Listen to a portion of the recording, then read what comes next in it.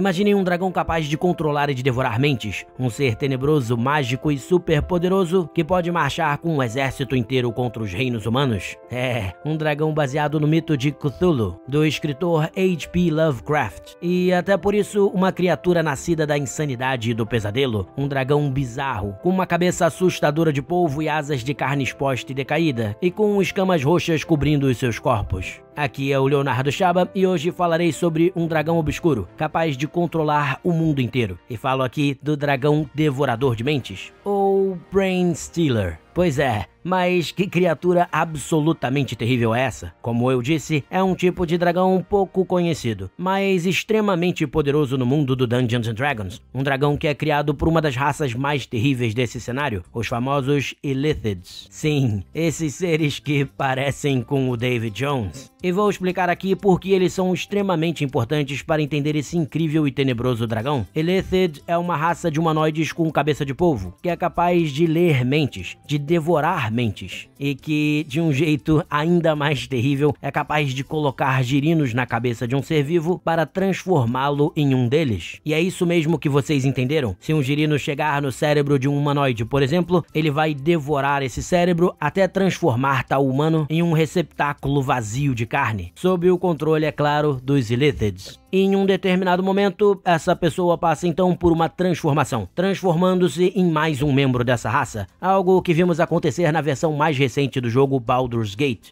E esse processo de transformação é o que chamamos de seremorfose, a transformação de algum ser vivo em um devorador de mentes. É, é algo absolutamente terrível e assustador. Mas você já deve estar tá me perguntando: Hey Léo, mas o que isso tem a ver com o dragão, meu caro?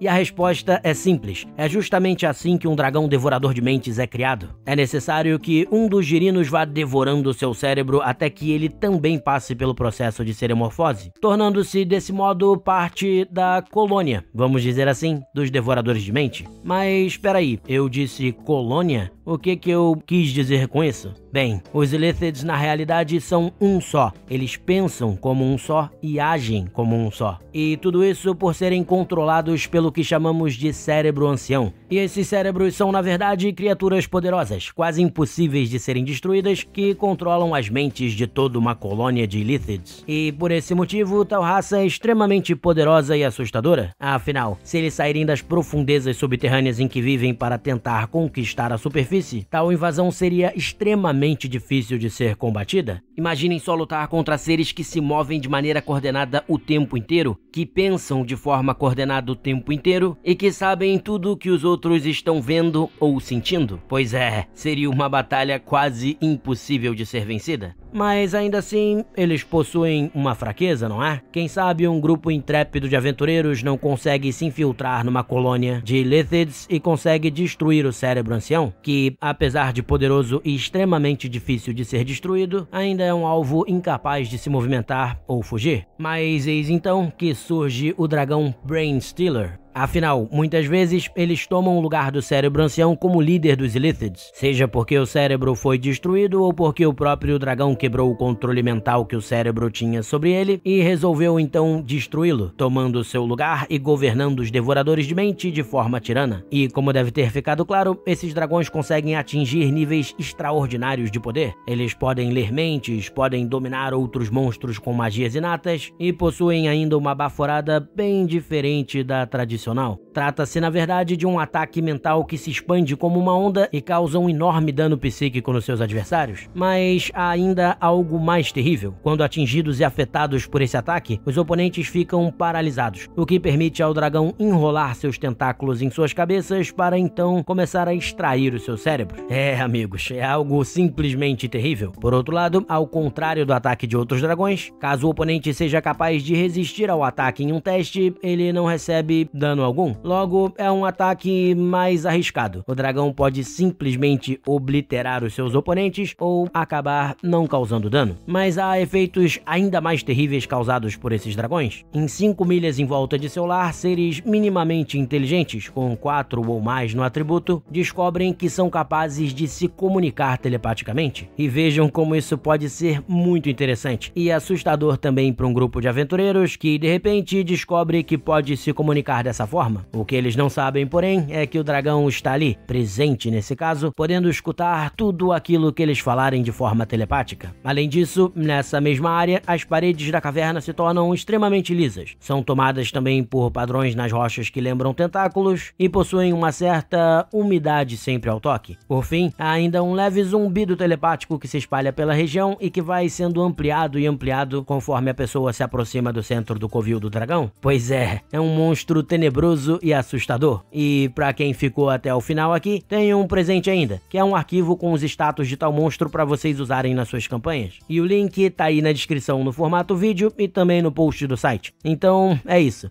Espero que tenham gostado demais esse episódio e até o nosso próximo programa. Grande abraço, pessoal!